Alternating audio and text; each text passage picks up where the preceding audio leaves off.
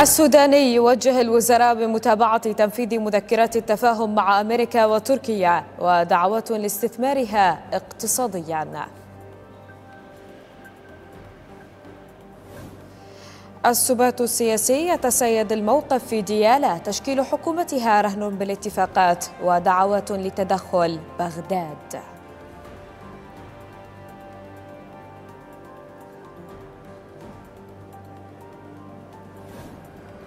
جيش الاحتلال يستعد لاجتياح رفح والأمم المتحدة تطالب بتحقيق دولي للمقابر الجماعية بغزة.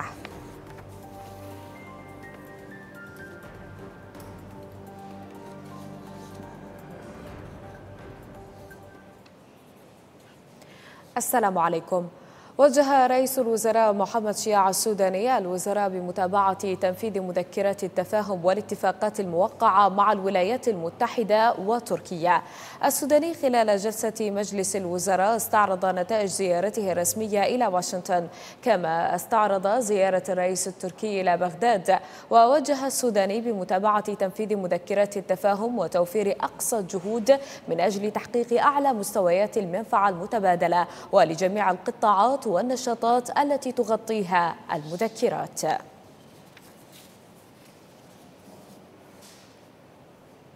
المستشار المالي لرئيس الوزراء مظهر محمد عد زيارة السوداني إلى الولايات المتحدة انتقالة مهمة في مستوى العلاقات الاقتصادية الاستثمارية بين البلدين. وقال صالح أن أوجه التعاون المالي والمصرفي ستشكل ركنا مهما في دعم جهود أمريكا لإسناد وتقوية السوق المالية المصرفية في العراق. مبينا أن رئيس الوزراء وجه بإشراف السلطة التنفيذية المباشر على أعمال المستثمرين الأمريكيين في حقول الاستثمار المختارة في العراق. لفت نائب رئيس حكومة إقليم كردستان العراق قبات طلباني نظر الجانب التركي إلى مراعاة قرار فرض الحظر على مطار السليمانية الدولي. وأكد طلباني في منشور على صفحته في موقع فيسبوك مشاركة في اجتماع رئاسة وحكومة الإقليم مع الرئيس التركي رجب طيب أردوغان والوفد المرافق له مبينا أنه طلب خلال الاجتماع من أردوغان مراجعة قرار إغلاق الأجواء التركية أمام مطار السليمانية الدولي.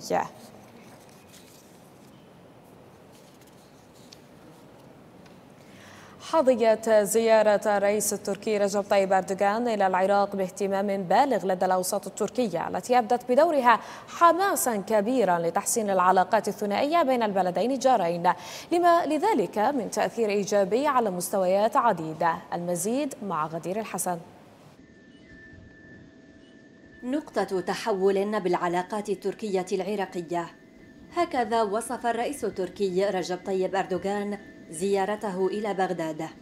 تلك الزيارة لم تكن عادية على الإطلاق فبالإضافة إلى أنها تأتي بعد أكثر من عقد فإنها شهدت توقيع اتفاقيات عابرة للحدود من شأنها أخذ العلاقات الثنائية إلى مستوى آخر. تم توقيع أكثر من عشرين اتفاقية مع العراق خلال زيارة الرئيس رجب طيب أردوغان إلى بغداد. وهدفنا تطوير العلاقات مع العراق بحيث يكون الاستقرار الإقليمي والازدهار والتنمية ممكنا. إن العلاقات التركية العراقية ستكون مثالا هاما في المنطقة وخاصة مع تنفيذ مشروع طريق التنمية الذي يولي الرئيس أردوغان أهمية كبيرة لهذا المشروع. تصف الأوساط التركية الزيارة بالتاريخية حيث تعول عليها في إيجاد حلول للملفات المشتركة وتحسين العلاقات بين البلدين الجارين. أمر يشكل انفراجة لطالما تحمست لها ذات الأوساط. يبدو أنه في صيغة تفاهمات توافقية مرتبطة بخارطة طريق مشتركة ليس فقط في التفاهم حول الملفات الثنائية بل بطابع إقليمي استراتيجي أيضا. والمؤشر الأهم كما رأينا كان موضوع مشروع الخط التجاري العراقي وإشراك الإمارات وقطر في هذا المشروع إلى جانب تركيا والعراق. اتفاقية التفاهم الرباعية التي وقعت في بغداد أيضا فيما يخص طريق التنمية. تكلل الزيارة تلك وتضع كل من بغداد وأنقرة في مستوى دولي جديد. أكثر من 25 اتفاقية وقعت بين البلدين ونقاط خلافية عديدة حسمت خلال الزيارة. ملفات إقليمية ودولية كانت حاضرة على طاولة الاجتماعات أهمها الحرب على غزة والتطورات الأخيرة بين الكيان الإسرائيلي وإيران. غدير الحسن الرابعة إسطنبول.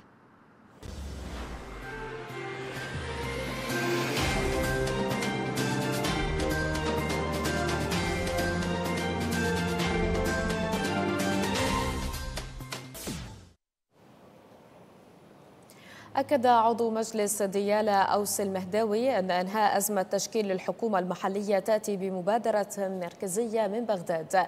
المهداوي أشار إلى أن المكونين السياسيين السني والشيعي كلا منهما لديه مشاكل وخلافات معقدة جدا مبينا أن إنهاء عقدة الديالة تأتي بمبادرة مركزية تتوافق عليها القوى الرئيسة للمضي في إنهاء هذه الإشكالية التي بدأت تثير قلق المواطنين.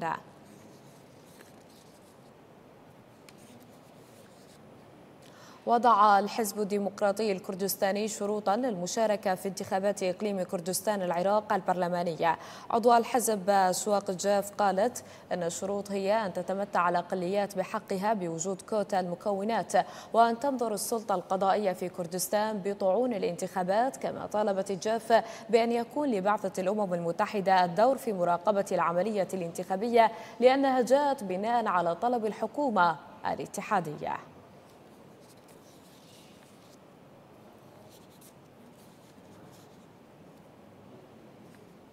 تدفع كتل نيابية لإعادة قانون الانتخابات إلى صالته وصالة العمليات السياسية وإخضاعه لمشرط التعديل مرة أخرى بعد أن كانت الصيغة السابقة دافعا آخر لتحديثات على هذا القانون.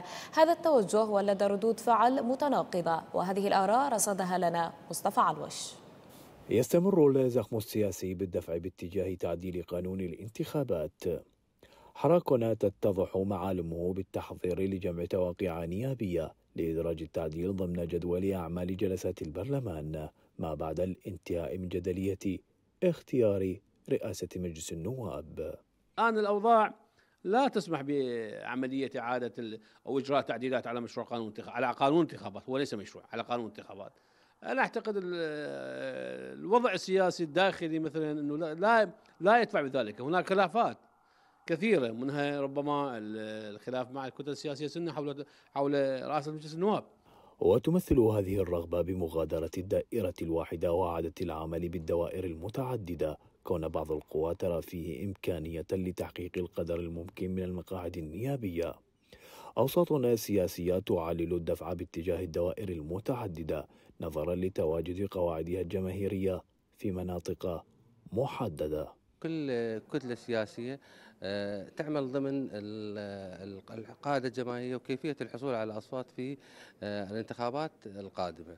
آه، هذا يدفعها إلى عدة توجهات. أولا إذا كانت قاعدتها محصورة ضمن مناطق معينة راح تطمع إلى دوائر متعددة حتى تحصل نسبة من الأصوات وإذا كانت لا والله قاعدتها واسعة فأكيد راح ضمن الدائرة الواحدة حتى تحقق غايتها وفي الحصول على أكبر عدد من الأصوات.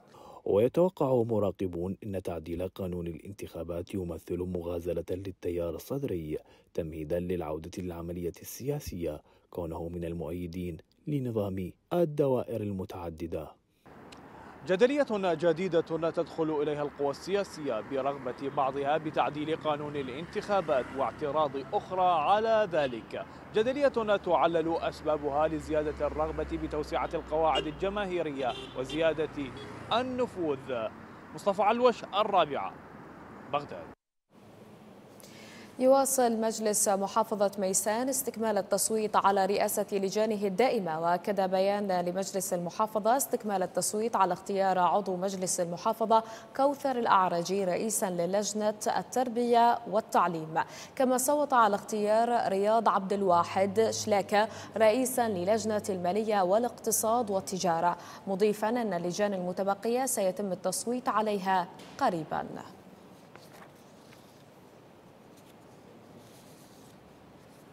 الجلسة التي حسم بها منصب نائبي محافظة صلاح الدين والتي وصفها أعضاء في المجلس بالأهم من بين الجلسات التي غطاها الزميل محمد الربيعي. فنتابع بجلسة هي الأهم حتى اليوم. مجلس صلاح الدين ينهي التصويت على نائبي المحافظ ورؤساء لجانه ويضفي لمساته على مدراء الدوائر والمسؤولين في الأغذية والنواحي. في تغييرات شاملة تعطي الرغبة الواضحة للمجلس ورؤساء كتله بالاعتماد على خيارات تناسب مصالحهم في قيادة المرحلة المقبلة. المجلس أكد بأن الجميع سيكون تحت طائلة المحاسبة ولن تكون أي جهة حكومية بعيدة عن رقابة اللجان التي ستتكفل بتقييم عمل جميع الدوائر. راح تسمعون بالإعلام كلام كثير على دوائر أخرى، إحنا اليوم لحد الآن إخواني في جلسات مجلس المحافظة ما حطينا الدوائر الخدمية، لحد الآن إحنا ما مضينا بهذا الملف، كل دوائر الخدمية في صلاح الدين سوف تكون تحت طائلة المسؤولية من قبل مجلس المحافظة وراح آه، اللجان مجلس المحافظة راح تتشكل وراح تبدأ بالحركة المكوكية آه، للدوائر وتنقل تقارير مفصلة عن آه، هذه الدوائر وعن ماهية الخدمات اللي تقدمها لأهلنا. كل مواطن في محافظة صلاح الدين. الرؤية الجديدة التي يحملها مجلس صلاح الدين في إدارة المحافظة بشكل جديد ومغاير يعطي الأمل بتغيير مرتقب ومرحلة عمل وإنجاز إلا إن البعض يرى بأن هذه الخيارات يجب أن تكون متوازنة بين التقسيمات الحزبية للكتل من جهة واختيارات الكفاءة من بين الأسماء التي يمكن أن تقدم الأفضل لأبناء المحافظة من جهة أخرى. مجلس المحافظة والمحافظة إلى رؤية جديدة يحتاجون احتمال إلى أدوات جديدة الأدوات الفاشلة الأدوات الفاسدة أكيد هذه قابلة للتغيير. آه، نتمنى أن تكون تقييمات دقيقة وحقيقية آه، بتغيير الوجوه اللي دارت محافظة صلاح الدين من الفترة السابقة. وأكيد كلها تصب بمصلحة المحافظة ومصلحة مواطن محافظة صلاح ويصف مختصون مشهد تغييرات المناصب في صلاح الدين بأول اختبار للمجلس وأعضاء الكتل السياسية. لإثبات صدق نواياهم بوضع لمسات يسعون من خلالها للتغيير وإنهاء حقبة الفساد التي عاشتها المحافظة خلال الأعوام الماضية. محمد عادل الربيعي الرابعة صلاح الدين. أطلقت مؤسسة تعليم اليوم مشروع المدرسة الحكومية الإلكترونية برعاية رئيس مجلس الوزراء محمد شيع السوداني. وانطلق المشروع بحسب مراسلنا برعاية وزير التربية إبراهيم الجبوري حيث يعد المشروع الأول من نوعه على مستوى العراق ويعتبر استثمار لتجربة التعليم الإلكتروني الناجح بالإضافة إلى مواكبة التطور العالمي.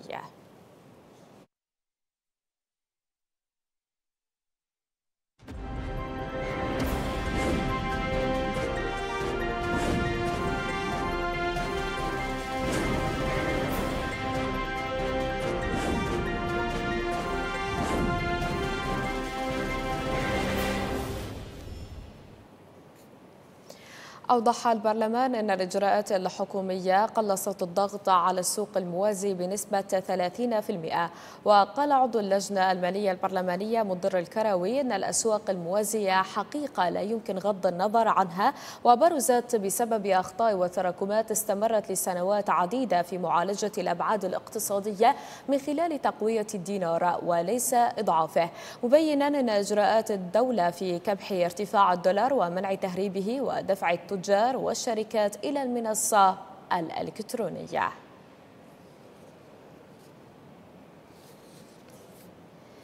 تزامنا مع ارتفاع غير مسبوق بأسعار المواد الأساسية في الأسواق بمحافظة واسط تبرز السلة الغذائية كداعم من أساس للمواطنين هناك حيث استطاعت أن تخفف تأثيرات هذا الارتفاع على الطبقات الهشة والفقيرة.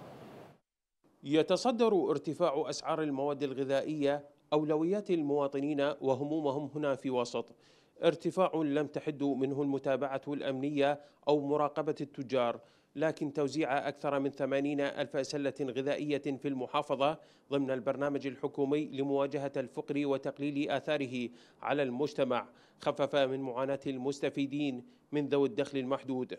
الغذائية أحد المميزات اللي جاءت تمنحها وزارة العمل هيئة الحماية الاجتماعية عدد المستفيدين الموجودين عندنا في قاعدة بيانات واسط للرجال فقط 80 ألف فأكثر 80100 وشوية تقريبا. هذه 80000 الكل استلم سله غذائية من أول ما طلقت الخدمة مال الغذائية للعاطلين هي آه، سلة غذائية إضافية للسلة الغذائية اللي تمنحها الدولة. بعد ما أني أدفع لها هذه السلة أكيد راح أحفظ كرامتها من خلال آه، هذه السلة الغذائية ونتأمل أن تكون هنالك خطوات أخرى لهذه العوائل للحفاظ اولا على عراقيتها من هذا الباب ومن الجانب الإنساني إضافة إلى أنه ارتفاع الأسعار أكيد أثر بالسلب على هذه العوائل الكريمة. مراقبون ومواطنون أبدوا ارتياحهم لتلك الخطوة كونها ستسهم بتخفيف عن كاهلهم وتحد من جشع بعض التجار. كل ما من شأنه أن يخدم الطبقات الفقيرة في المجتمع هي حالات إيجابية يجب أن يتم الثناء عليها يجب أن آه، تسجل لأداء وعمل الوزارات المعنية والحكومة الاتحادية. ولكن ندعو في ذات الوقت إلى التدقيق مليا في هذا الأمر. تكون مثل هكذا مبادرات. يعني نقول إحنا مبادرات جميلة، إحنا كوننا أيضا آه، نمتلك فرق تطوعية وأعمال إنسانية. دائما نسعى لنفعل هكذا مبادرات، فاليوم جميل جدا أن نرى الحكومة هي اللي تبادر بهذا الأمر، فأكيد إحنا نشد على إيديهم وإحنا نشجعهم وإحنا راح نستمر وياهم بهكذا مبادرات إن شاء الله. وبحسب أرقام رسمية فإن أكثر من مليوني عائلة مسجلة ضمن برنامج الحماية الاجتماعية إذ تقدم الشبكة عدة خدمات منها قروض ميسرة إلى جانب الرواتب الشهرية من مدينة الكوسجد العطية. الرابعة تساءلت لجنة النزاهة النيابية عن أسباب تراخي الحكومة بشأن حسم ملف سرقة القرن والخاصة بسرقة الأمانات الضريبية التي تقدر بمليارين ونصف المليار دولار. وقال عضو لجنة النزاهة علي تركي أن المتورطين الرئيسيين بدعوى سرقة القرن ما زالوا يسرحون ويمرحون دون محاكمتهم مشيرا إلى أن الحكومة وهيئة النزاهة مطالبتان بالكشف عن حقيقة هذا التراخي ولماذا لم يتم حسم الدعوة ومعاقبة المتورطين كافة.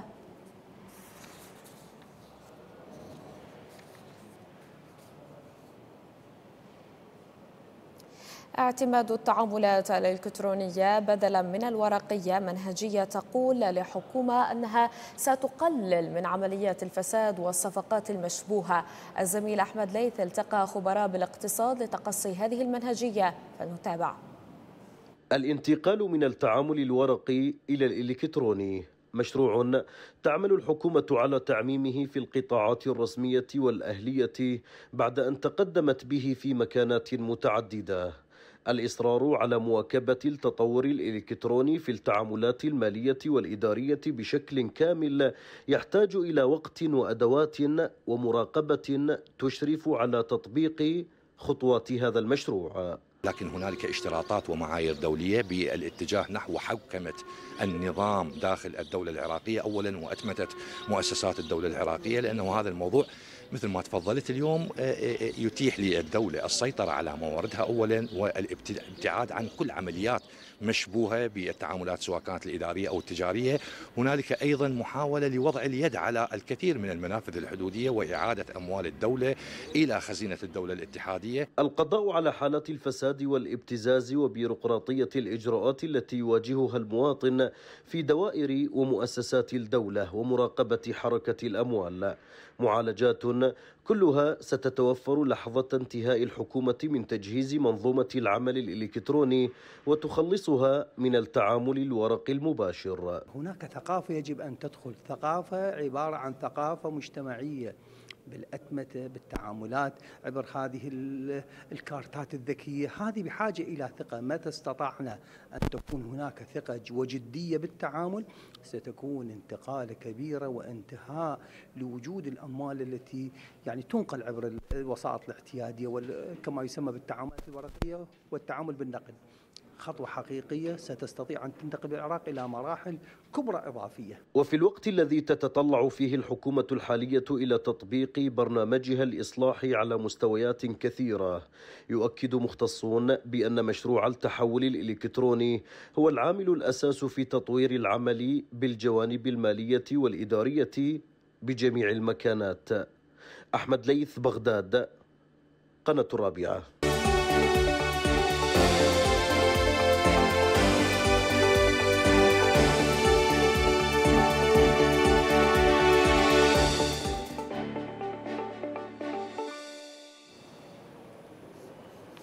وجه رئيس مجلس الوزراء محمد شيع السوداني بسرعة إنجاز الأعمال الجارية في محطة كهرباء الأنبار المركبة وفق المواصفات المطلوبة. السوداني خلال زيارته المشروع شدد على عدم التعذر بأي تأخير بعد أن وفرت الحكومة كل مستلزمات الإنجاز للمحطة الكهربائية. كما وجه متابعة مشروع غاز عكازة الذي سيغذي المحطة بالوقود بعد إنجازها.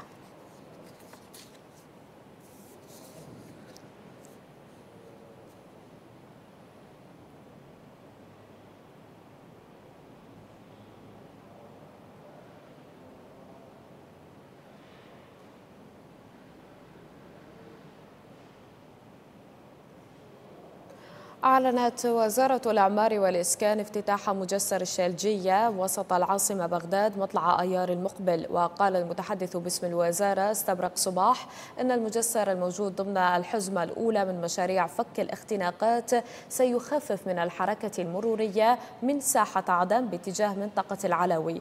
مؤكدا أن المشروع من بين التقاطعات المهمة كونه يربط مناطق حيوية مع جانب الكرخ منها الطوبتشي والشالجية والأعظم النظامية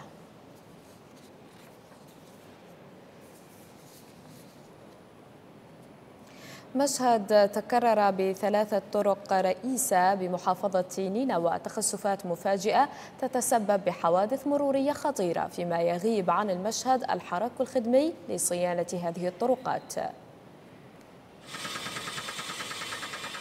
هكذا يعاد مرة أخرى إصلاح هذا الشارع بعد تعرضه لخسف كاد أن يتسبب بحوادث مرورية. هذه الحالة تكررت ثلاث مرات في شوارع مختلفة داخل مدينة الموصل خلال أقل من شهرين فقط. مراقبون شككوا بوجود شبهات فساد لدى الشركات المنفذة لتلك المشاريع. ظهور حالات التخسف الجديدة آه، والتي نشهدها في الشوارع طبعا هذا شيء يعني مريب جدا ويدعونا إلى الشك بأن هناك حالات فساد يجب معاقبة ومحاسبة القائمين على المشروع. وتتصاعد الأصوات المطالبة بمحاسبة الشركات المحالة إليها المشاريع والتي تكون غير مطابقة للمواصفات القياسية إلى جانب محاسبة الجهات المعنية التي أحالت وتسلمت المشاريع من دون التحقق من جودتها. معظم الإحالات التي أحيلت للشركات التي قامت بتبليط هذه الشوارع كانت إحالة آه، لشركات غير رصينة وهذه الشركات من المؤكد أن عملها غير جيد وغير مهني. وللدليل التخسفات التي تحصل حاليا. فكان من باب أولى أن تحاسب الشركة التي قامت بهذا العمل وأيضا تحاسب الجهة التي أحالت آه، هذه المشاريع لهذه الشركات. أكيد شغلهم ما مضبوط كان. وإلا هم جو أبو الشارع اشتغل وقبل صبكن يشتغلوا أبو المجال يشتغلوا يخسف الشارع. هل هذا جائز؟ عجلة الإعمار مستمرة في نينوى غير أن شبهات الفساد في طريقة الإحالة والتنفيذ بحسب ما يؤكده مراقبون هي المتسيدة في الكثير من المشاريع فضلا عن تلكؤ بعضها أو توقفها منذ سنوات طويلة. من الموصل عمر القاسم الرابعة.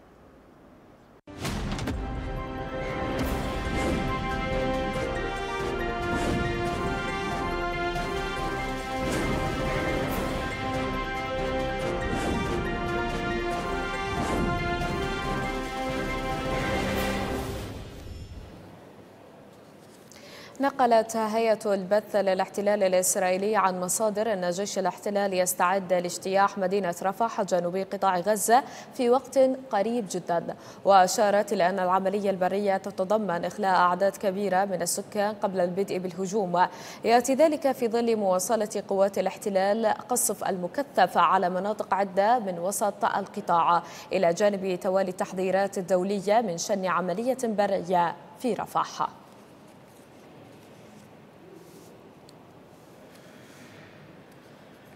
أعلنت وكالة غوث وتشغيل اللاجئين الفلسطينيين أن الحرب على غزة لحقت أضرار هائلة بالبنية التحتية الحيوية في القطاع وفقد أكثر من مليون شخص منازلهم.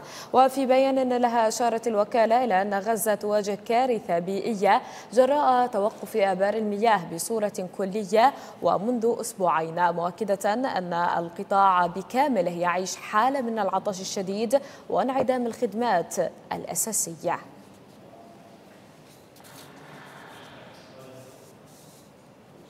دعا مكتب حقوق الإنسان التابع للأمم المتحدة بتحقيق دولي في المقابر الجماعية التي عثر عليها في مجمع الشفاء ومجمع نصر الطبي بقطاع غزة.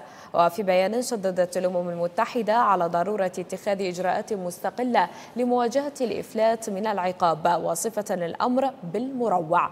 كما شددت على ضرورة إشراك محققين دوليين في هذا المسار للوصول إلى الحقائق.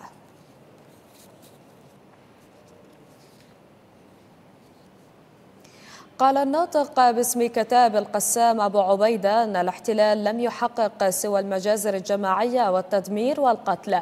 وفي كلمة مصورة أشار أبو عبيدة إلى أن الاحتلال الإسرائيلي عالق في رمال غزة والمقاومة مستمرة في جهادها. مئة يوم مرت ولا يزال الجيش الهمجي النازي عالقا في رمال غزة.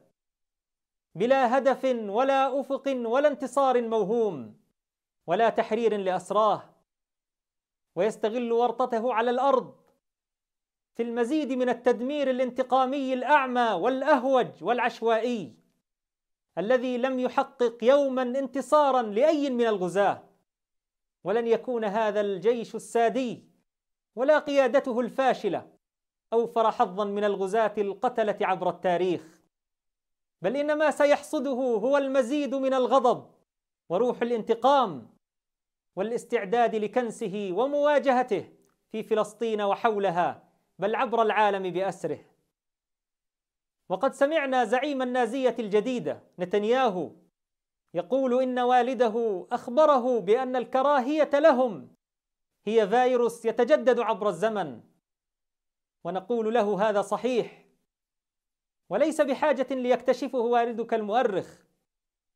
لكن ما نسي أن يقوله لك والدك وأن هذا الفيروس سببه قذارتكم المفرطة ودماء الأبرياء التي تتلطخ بها أياديكم عبر الزمن.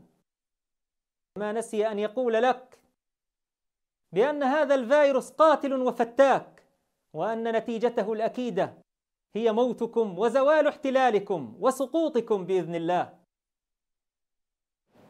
خراب ودمار واسع النطاق في قطاع غزة مع استمرار عدوان جيش الاحتلال الإسرائيلي لأكثر من 200 يوم على التوالي.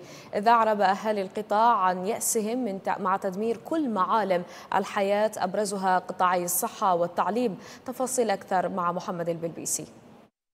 200 يوم من الحرب الإسرائيلية المستمرة على قطاع غزة. دمرت إسرائيل في هذه الأيام مباني ومنازل المواطنين في كل مكان في قطاع غزة. باتت المشاهد المألوفة للناس الدمار الخراب وأيضا مشاهد الدماء التي انتشرت في كل مناطق في قطاع غزة في ظل استمرار هذه الحرب.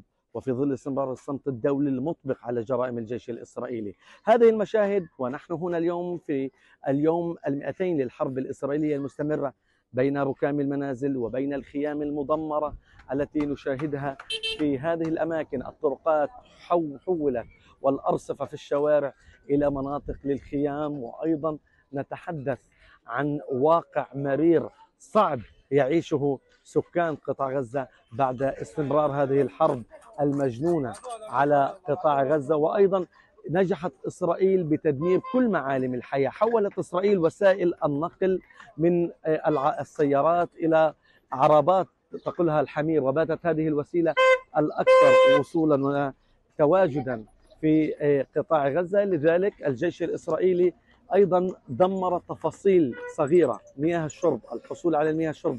بات إيه، صعب جدا الحصول على الطعام بات صعب جدا. أيضا عملية التنقل من مكان إلى آخر باتت يعني مهمات صعبة لمواطنين فلسطينيين وهي كانت من أساسيات الحياة ولا يمكن الحديث على آه، هذه التغيرات قبل الحرب ولكن الحرب دمرت كل شيء وأبقت الهدوء والنوم في المنزل. من أحد الأحلام للمواطنين الفلسطينيين. كل حاجة تغيرت يا عمي كل حاجة تغيرت في حياتنا. سبنا أولادنا ودورنا تدمرت. وهينا قاعدين في خيامان في الزوايد وإيش بدك أكثر من هيك خراب الديار؟ إن 200 يوم في الحرب. إحنا قبل ال 200 يوم كنا في دور كنا عايشين كنا في الجامعات جزء متعلم جزء قاعد بيتعلم. بعد ال 200 يوم إحنا سبنا الدور. سبناها الركام وقاعدين إحنا بخيام فيش تعليم فيش وين ما تجي يعني أوبئة الكبد الوبائي دمر الأطفال عندنا يعني الوضع عندنا مأساوي بشكل كبير. 200 يوم الحرب افرقت كثير يعني فرق بين السماء والأرض. يعني إحنا كنا معززين مكرمين قاعدين في بيوتنا. واكل نظيف وشرب نظيف وعارفين إحنا من وين مصدر هذا الأكل والشرب. لكن إحنا لقيت قاعدين في خيم وبيجينا أكل من التكيات وهذا بس كثير إحنا دخلنا مستشفيات صار معنا تسمم وصار معنا وجع في بطوننا يعني وضع لا يرثى له خلال أيام الحرب دمرت إسرائيل المراكز الصحية وأهم المستشفيات كمستشفى الشفاء في مدينة غزة ومستشفى ناصر جنوب القطاع لتدمر القطاع الصحي بشكل كامل في تدمير لكل البنية التحتية ومعالم الحياة في غزة. محمد البلبيسي قناة الرابعة قطاع غزة. أذكر بالأبرز.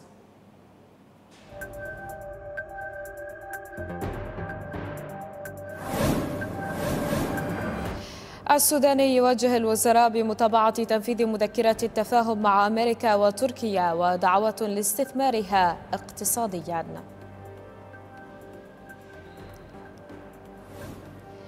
السبات السياسي يتسيد الموقف في ديالى تشكيل حكومتها رهن بالاتفاقات ودعوات لتدخل بغداد.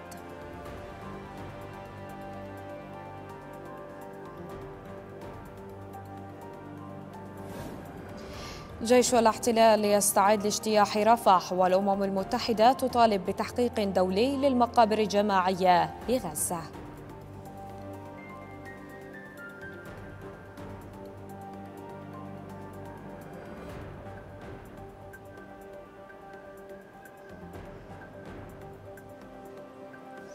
في أمان الله.